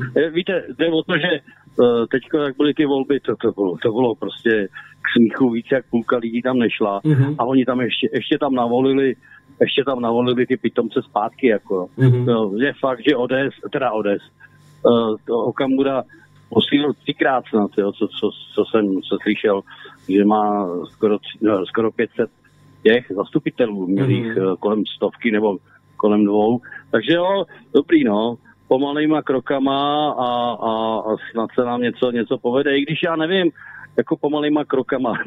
No my už... před náma. Tak. My už moc pomalý, pomalý být nemůžeme, no, protože... No, no právě. No, jakmile by nám tady jakmile by nám tady vyhlásili válečný stav nebo něco takového, tak to už by tak, potom to... bylo opravdu jako... Toho se bojím, no. Složitý. Toho se pak bojím. Mm, mm. No, je 650 a já jsem si celý ten život užil v míru, uh, půlku za Komančů, zbytek teď. Hmm. Za těch Komančů ono to nebylo všechno tak úplně špatně, jak, jak mě se líbí 30 letý kluk, když vykládá, jak za Komančů bylo špatně. Jo. Jo, jo. No, takže já jsem si mládí užil za Komančů skutečně jako nebylo to, nebylo to tak, tak hrozný. Že se nemohlo cestovat, no tak jo, já teďko stejně taky nikam necestuju, mm. takže mi to v tomhle tom třeba ohledu je mi to úplně jedno. No. Teď oni nám to no. zakážou, oni nám to stejně to zakážou, takže jako co? Jasně, jo. dva roky nás stejně drželi doma, že jo, kvůli, kvůli té hmm. chřipce. Hmm. No. Víte co, já Dobrý chlapi. Jo, dobrý, tak jo, díky. Já ne, nebudu zdržovat, mm-hmm. rád vás poslouchám, jsem váš věrný posluchač, jo a zbytek si poslechnu v rádiu. Mějte se, držte se. Taky, díky, naslyšenou. Tak eh, já jenom k tomu uh, lítání a k tomu cestování dodám, že skutečně minimálně strana německých zelených uh, veřejně uh, deklaruje, že se lítat prostě nebude. Prostě nebude. A uh, nevím, uh, možná někteří z vás uh, sledovali ten obrovský skandál týkající se berlínského letiště, i když ono to není úplně tak přesný, protože oni zavřeli uh, letiště Tegel v Berlíně, tuším před minulý rok už, který bylo teda jakože v centru a měli rozestavěný na hranici Berlína a Braniborska velký letiště Berlín-Brandenburg, který je připojený, nebo který se mělo připojit k tomu Schönefeldu. A to bylo největší letiště teda tam, jo. A teďkon ta stavba stojí. Stála stovky miliard, miliard eur a ta stavba stojí. Proč? Protože to letiště už nebude do budoucna potřeba. Nepočítá se s tím. Takže to jenom taková jako paralela s tím, o čem jsme se teď eh, bavili. Aspoň bude mít pan Semper o čem psát, teda když podle těch policejních statistik, tak to číslo je takový nějaký jakýsi nemastný, neslaný. Mm. Jo, přitom všichni, co jsme tam byli, tak víme, že lidí tam bylo dost a určitě to nebylo tak málo, aby to zaniklo, jo, aby to bylo prostě marg- Marginální. No, marginální, jakože s tou účastí, jak kdyby se tam sešlo pět lidí. Samozřejmě, že to takhle není. My víme, proč to dělají. Jo, prostě snaží se tlumit v podstatě to, co se ve společnosti děje a to, co tam rezonuje, protože společnost je poral, no prostě eh, polarizovaná, hra, polarizovaná no. a hraje prostě nějakou hru. Jo, a chtějí, aby si vybrali stranu. Tak, Někdo telefonuje. Jo, máme další hovor, takže já ho rovnou přijmu. Dobrý večer, vítejte ve vysílání, slyšíme se? Ale už nám to zase tady zlobí člověče. Ten telefon tak zlobí dneska přijmout. Tak, halo, halo, slyšíme se? Slyšíme se, dobrý večer, panové, tady je Bohdan ze Slezska, zdravím. Perfektní kluky na Fonu Radio. Hmm. Zdravím a chtěl jsem se, jak jste navázat, jak jste tam mluvili o těch, o těch debilitních, těch, co je jako ty Evropská unie, taky ty karbony a taky ty blbosti, hmm. co to všechno, co to vymýšlejí, jestli to je, jsou spojené nádoby, si myslím, tak to říkal Ivan David se na, na demonstraci v Ostravě. Oni totiž, to jsou seriály, média, herci, hmm a také a je, jako osm u nás, určitě to bude v Německu a na celém západě a i ti europoslanci, tam je polovina z nich je úplně jako úplně jako říká, to jsou přímo idioti, řekl takhle. Mm-hmm. To si a že to je vlastně obdobování těch lidí, mm-hmm. proto i ty volby tak dopadají, jak do, dopadají Aha. a že to je vlastně že to, to, je tak, taky názor, že je to asi celkově, celkově ty seriály, filmy, pod, to podprahově to je vsunuté těm lidem, mm-hmm. aby jako taky ty nesmysly přijali, přijali, jako že se tomu ani tak nedivili. Že málo kdo to ten že ta masa je taká velká, tak si myslím tak a mm-hmm. Jirka perfektní. A chtěl jsem se ještě zeptat na osobní názor Jirky Froňka na ten Nord Stream, jako jestli tež si myslíš, že to udělají Rusové, i když jste se tomu jako tak to, ale chtěl bych osobní jeho názor slyšet a od Zdeňka, jestli tam může panika v Německu velká jako, a jako jako stávka těch lidí jako nebude, jako jsem teďka viděl nějaké video, hmm. tam u toho ústí, jako jak tam stavkovali, hmm. jako a měli ruské, viděl jsem sešité ruské a vlajky z, z německého jsem dokonce viděl. Mm-hmm. Jo, a takže jako jak to vidíte, a jinak pěkný, pěkný večer, deštivý, ale ten, takže jsem chtěl to, se na, na to zeptat a co na to řekl, říkáte, a jinak perfektně, já zdravím vás a držím vám palce a se vám daří a perfektní práci děláte. Dobrou budu poslouchat. Díky Bohdane, díky a naslyšenou. No, naslyšenou. Tak, eh, to byl Bohdan Vesleska, já teda já odpovím jako první, co se týče toho, toho Německa. Eh, v Německu to samozřejmě začíná taky pěkně vřít, eh, zejména ve východním Německu, což je logický, protože tam je ta životní úroveň nižší než v tom bývalém západním Německu.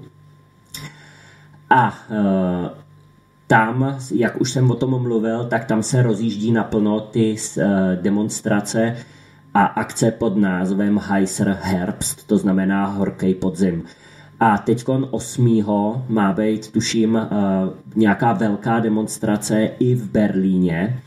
A samozřejmě, protože ti Němci nejsou tak domestikovaní uh, tou nenávistí vůči tomu Rusku, tak oni uh, skutečně nemají problém s tím si tam uh, vzít ty ruský vlajky klidně i na, uh, klidně i na ty demonstrace. Co se týče co se týče potom té druhé části nebo té první části dotazu, tak já osobně si myslím, že ten Nord Stream 1 a Nord Stream 2 Rusové neodbouchli. Já tomu prostě nevěřím, že to udělali Rusové, protože já k tomu nevidím jeden jediný logický důvod. Proč by to uh, sabotovali, když můžou jenom uzavřít kohouty? Takže to je například. Takže to je odpověď eh, ode mě. A Jirko, hmm. hlavně to měl byla otázka na tebe jmenovitě, takže... Eh, já jsem se tomu smál samozřejmě, protože všichni, všichni logicky uvažující lidi, možná i zvířata, jo, do této kategorie některý teda spadají, tak eh, si uvědomují fakt, že oni by rozhodně neodpálili svoje inženýrské sítě, kterýma prostě zásobují Evropu. Oni by mohli ty sítě vypnout. Tam není jediný důvod, proč by tyhle ty sítě měly odpolovat. Když oni přece to můžou vypnout. Když, když vypnu kohoutek, tak přece nemusím uh, trhat doma, nevím, potrubí s vodou. Jo? Tak nejsem idiot přece. Jo? Tak, takhle, takhle bych na to asi zareagoval. Jo? A myslím si, úplně to stejný, to, co si myslí všichni lidi. Jo? Prostě má v tom někdo úplně jiný prsty. Já nechci teda konkrétně na nikoho ukazovat, jo? ale třeba Třeba Polsko je obrovský uh, spojenec Ameriky, rádo klidně pošle armádu, rádo vystaví x radarů, prostě udělají v podstatě cokoliv, jako každý jiný pejsek, jo, do toho třeba i ten zájem té Ukrajiny a co si budeme vyprávět, dneska není vůbec problém přece vyslat uh, několik lidí nebo jednotku, prostě něco takhle uh, sabotovat. Jo? A ještě k tomu takovýmhle partizánským způsobem. Ono, ono by se nakrásně mohlo stát, že by mohl taky bouchnout někde ten norský plynovod, mm-hmm. jo, a tím, tím by jsme byli třeba úplně bez nějakých dodávek plynu, pokud pominu teda ten plyn na těch lodích, jo. To prostě, to se může nakrásně stát k tomu, já nepotřebuju přece hromadu lidí a nějaký štáb nebo armádu, na to mi stačí prostě pár lidí, který ví, co dělají a prostě to udělají. Jo? Takže já si myslím, že vyník skutečný se nenajde nikdy. On třeba bude, on třeba vypluje někdy za 50, za 70 let z nějakých tajných třeba archivů, jo, kdo, kdy, jak, jo, jak k tomu došlo. A další takový důležitý argument, eh, který jako i já nechápu, proč Rusko by nabízelo opravu toho plynovodu, který by poškodilo. Jo, to, to prostě nedává logiku. Jo, hmm. to, tohle, jo. Dobře, tak jo, jdeme na další dotaz SMS-kový teďkon. Dobrý večer, pánové. Uhlíková stopa mě fakt dorazila. Stejně vymyšlená karavina jako covid. Vždy se z toho orosí, vždy se z toho orosím, jenže lidi to fakt žerou. Je to hrůza všude kolem mě. Napadlo mě. Komu, že se bude počítat uhlík? Stopa z těch lodí na mazut s LNG ruským plynem, okružní jízdou z USA a taky z těch různých, především amerických válek. To je doslova uhlíková šlápota. Díky za skvělé vysílání i za ta předešlá Hanka Praha 11. A ještě dodává, řekne mi někdo, jak mám dýchat, když vydechuji CO2, tak eh, já na tohle zareaguju, teda jestli dovolíš, Jirko, jako první, protože eh, to, že uhlíková stopa je eh, za prvý naprostý nesmysl, lež a je to vymyšlená karavina, jak paní Hanka z Prahy 11 píše, tak s tím naprosto souhlasím. Eh, to, že to lidi žerou, tak vlastně my jsme na to odpověděli v tom prvním příspěvku, kde Světový ekonomický fórum skutečně uvedlo, že většina lidí, kteří na tyhle ty ideologické uh, záležitosti skáčou, tak jsou většinou mladí lidé. Jo, takže to je uh, právě ten problém u tohohle z toho. No a uh, co se týče Eh, stopa z těch lodí na mazut s LNG. Já tady jenom to opravím. Ty lodě, které převážejí LNG plyn, tak oni jsou tím plynem i poháněné. Oni nejsou poháněné mazutem. Ale protože my tady budeme mít stejnou situaci i s tím, i s ropou, tak ty už tím mazutem poháněné jsou. Tudíž Eh, tady eh, v podstatě nám dojde k velkému zvýšení té uhlíkové stopy. A já jenom připomenu, že tu cenu jak plynu LNG, tak té dovážené ropy ještě enormně zvýší náklady právě na přepravu, protože těch lodí, těch tankerů je málo, nedokáží pokryt celou tu poptávku Evropy. A e, pokud, e, a ještě jednu věc k tomu mám, e, a to, to se dostáváme k tomu neskutečnému pokrytectví, pokrytectví těch zelených šílenců a liptardů, jak já jim říkám, to jsou ty jakože liberálové.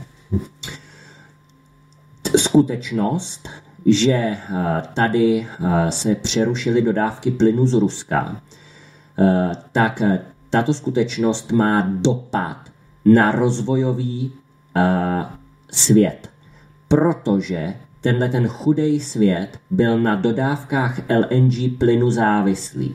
A oni ten LNG plyn samozřejmě dostávali za cenu, kterou ještě byli schopni platit.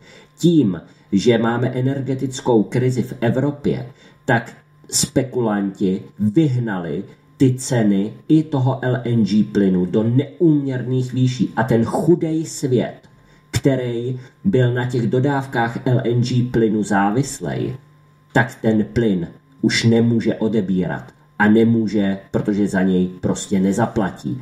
A jestliže tady bude hladomor, a to je to, před čím já varuju, že oni tady dalším krokem chtějí vyvolat obrovskou krizi hladu, tak tímhle s tím ji oni vyvolají. A to je takový svinstvo a to je taková, to, to, to tady ještě nikdo nikdy v životě nespůsobil. Hladomor, hladomor. E, vlastně ve státech, který, o kterých se ví, že jsou závislí e, na těch dodávkách LNG plynu.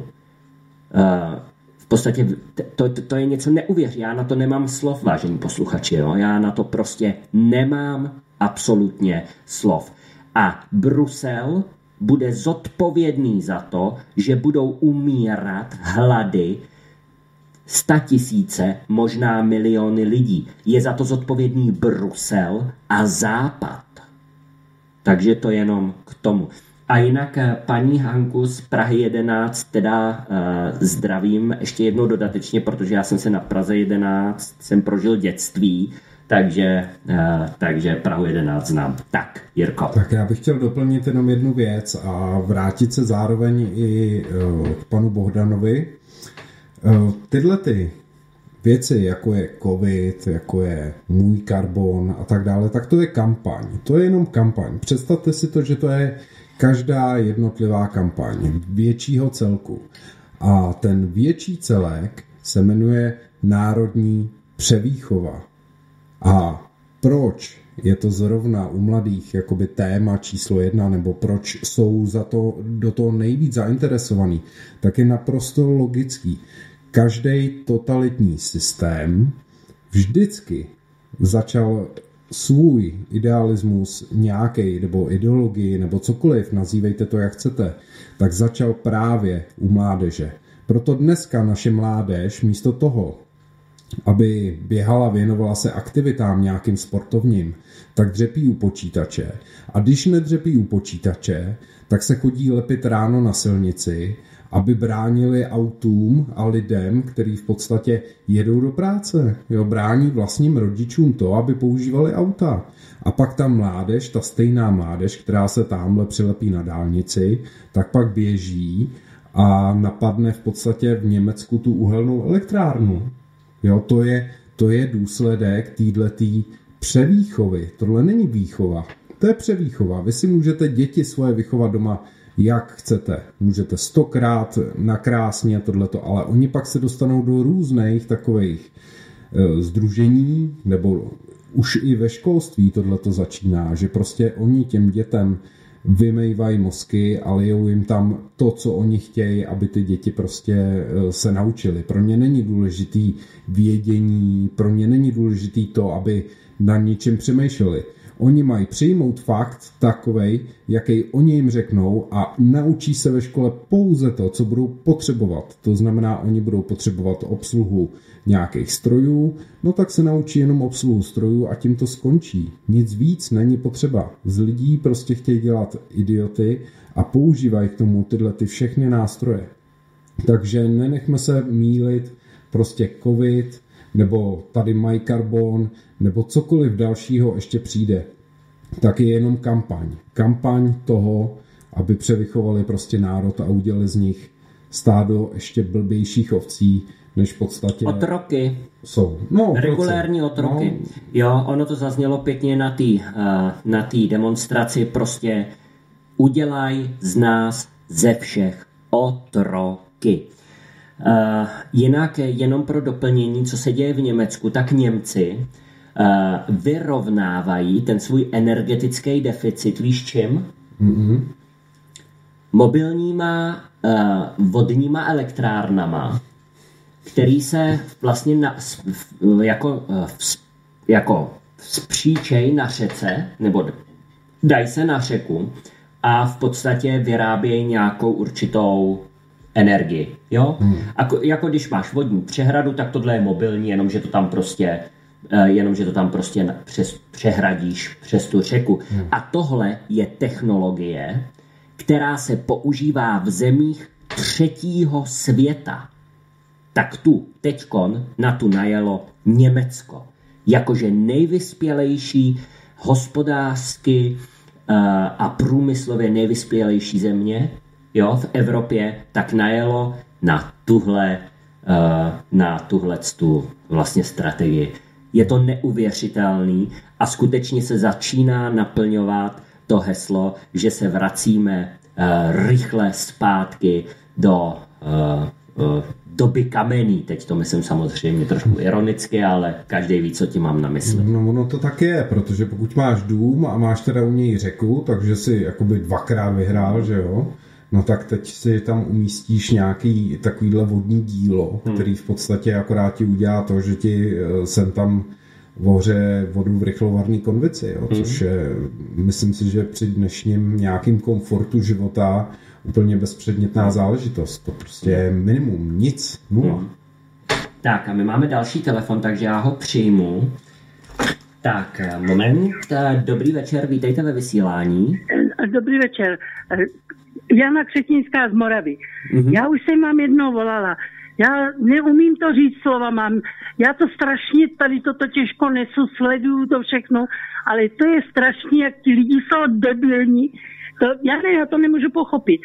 To opravdu, co se děje. Já vám moc strašně kluci děkuju za, hmm. za to všechno, co vám říkáte a všechny lidi zdravím teda, ale by jsem, já nevím, jestli už nám snad něco pomůže. Já myslím, že ani ne. Mm. Je to hrozný. Já, já mám, budu po šestý prabábo a mám, jí má mě hrůza, co to dítětko čeká. No. Je to hrozný. Já se omlouvám teda jako, já jsem obyčejný člověk, já neumím tak mluvit nebo tak, ale beru to srdíčkem, že je to strašný. Strašný, co se děje. Já jsem sem 70 roku, budu mě za 14 dní, ale toto jsem nezažila. Furt nadávají na Ruse, furt nadávají na Putina, na všecky. Když to je úplně všechno jinak. A ti lidi se kurní šopa probudí. Mm-hmm. Když to není normální. Ano. Fakt to není normální. Když tak může být někdo debilní. Mm-hmm. Prostě ty média dělají všechno a prostě nás úplně některé lidi oblbujou. A oni tomu věří. Jo.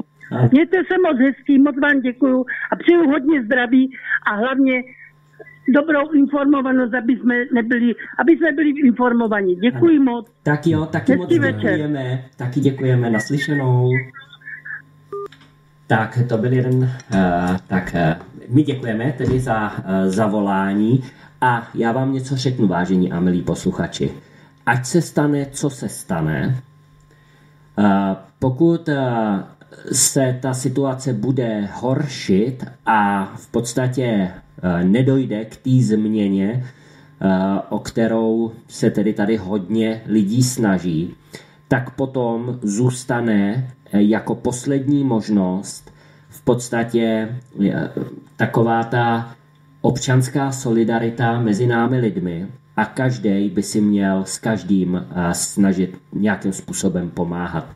A zejména právě u těch starších lidí, tam ta pomoc od těch řekněme, od toho okolí bude opravdu, eh, se obávám, že jako naprosto zásadní, protože ti, ti starší lidé prostě oni už nemají že jo, tolik síly a tolik toho, eh, aby si zvládli takovým těžkým krizovým obdobím projít. A já sám jsem samozřejmě připravený já sám jsem samozřejmě připravený na to uh, pomoct uh, lidem v mém okolí, právě starším a hold nám nic jiného nezbyde. Oni nám můžou vzít všechno. Můžou nám vzít peníze, můžou nám vzít, uh, můžou nám vzít svobodu, ale uh, těžko nám vezmou takovéto přirozené lidství, nebo já aspoň tomu věřím. Hmm. Přesně tak, jo, budeme se muset prostě postarat sami o sebe a vzájemně, jo, především. Mm-hmm. Tak a jdeme na poslední, uh, protože budeme muset končit, tak jdeme na poslední dotaz. Dobrý večer, pánové. Podle mě je jasné, že Nord Stream zničilo USA, mají motiv, jejich vojáci byli nedaleko a navíc tím vyhrožoval Biden před začátkem invaze Ruska na UA. Lidé na Facebooku si i z toho dělají legraci a psali, že na to by mělo nyní jako odpověď zaútočit na USA. Přeji pěkný večer, Eva z Moravy.